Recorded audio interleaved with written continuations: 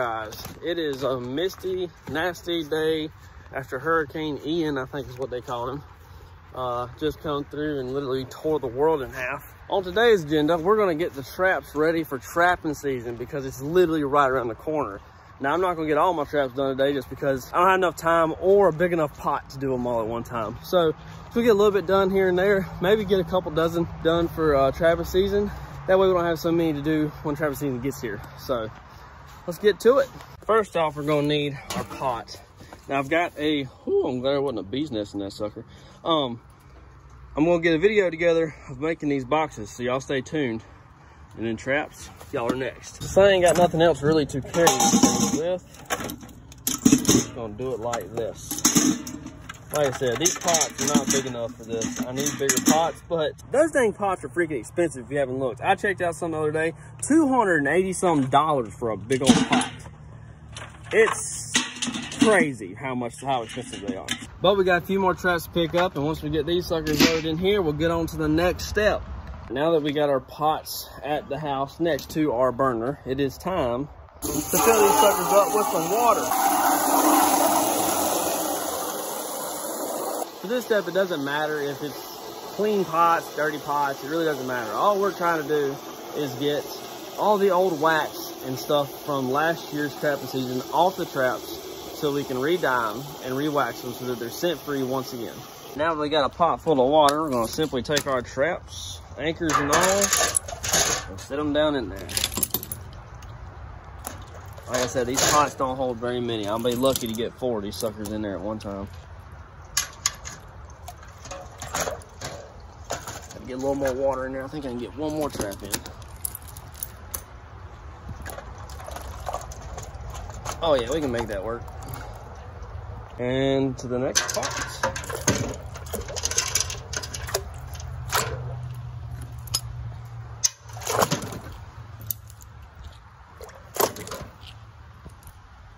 Well, let's use this one actually.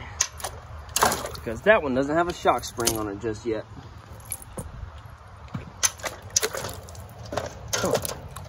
That trap held five.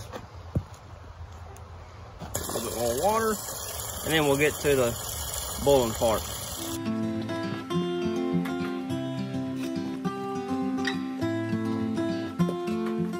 All right, now we got our pots here with the water and the traps inside. And what we're gonna do here is very, very simple. We're gonna turn them all the way up on high and on high and give her a good light without burning my arm off. And now we just wait. Just sit here and wait for the boil, traps to start boiling, the water start boiling actually. And what we're trying to do is you're gonna get the water hot and the traps hot and all the wax will come up to the top. And when it comes to the top, we're gonna put some more water in there and it'll overflow the wax over the edges. And yeah, you can do it that way or you can just let the whole thing cool off and the wax will harden at the top and then it won't stick to your traps again. Um, so yeah, we're just trying to get all the old wax and everything, just the wax part really, off of the traps from last year. That way when we re-wax them, they're 100% scent free. Now it's a waiting game. All right, as we can see, we got a bunch of nasty old goo coming up to the top. These haven't quite got hot enough. As you can see, they're still boiling, or still got bubbles on the traps, I should say. So, let this one simmer. This one's got still got a few bubbles in there on the traps. Uh, you maybe can see through the traps in the water, but slowly but surely getting there.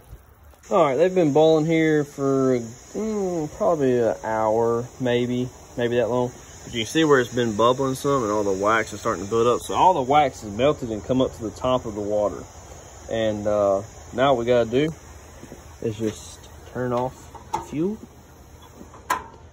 and wait for it to cool down and all that'll harden on top. I don't want to pour water into it because I feel like if you do that, the water going in is going to cause the wax to go down and stick to the trap as it's coming back up, if that makes sense. So I'm just going to let the pot sit here, cool off, and uh, through once they get through cooling off, I'm gonna uh, come out here and dump out all the water and everything, get the traps, set the traps down, and spray them off. So y'all stay tuned. All right, guys, this is the next day, and you can see all this stuff that has dried on this pot. Um, that is all wax come to the surface of the water, just floated up. so we're gonna take that, dump it out on the ground, and then put them just uh, traps on the steps with these and spray them off and get them cleaned up pretty good. So let's get it.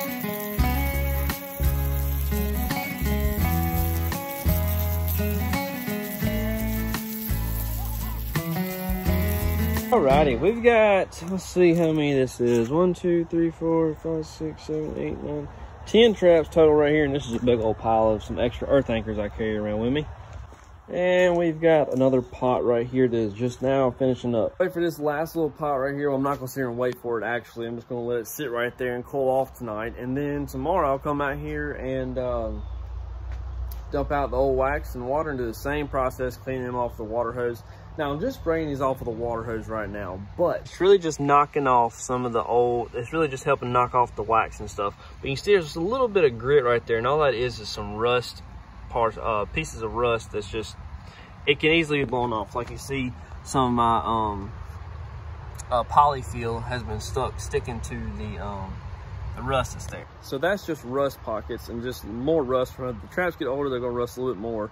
Um, they're gonna rust some a little bit, a little bit. Anyway, uh, what I'm getting at, you want your traps to look like this right So this is a trap that I got last year, and you can see how there's still some bare metal there, just a little bit of rust.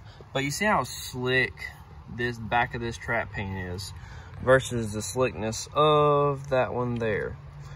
And you see how that stuff's kind of coming off. I can really scrape it and it comes off on my fingernail right there. All that is, like I said, is just some rust. So the, what you're gonna do, like I said, I'll rinse them off with a water hose. But before you wax or uh, dye and wax them again, you're going to want to take a pressure washer and pressure wash the traps. Now, if you don't have a pressure washer, you can do like I do, which I have a pressure washer now, but before I had one, I just go to freaking car wash, pay whatever, $1.25 and pressure wash all my traps off there at the car wash and then whatever, you got what, max five, six bucks into it.